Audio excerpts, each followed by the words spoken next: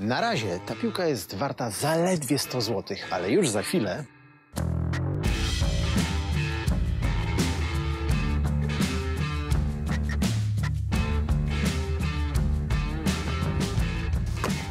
Mówię ci, że ja na tym zarobię. Na podpisie? To jest ta piłka. Kupa forsy. 12 tysięcy. Nowy sezon brać czy nie brać? Premiera 3 października o 22 na historię.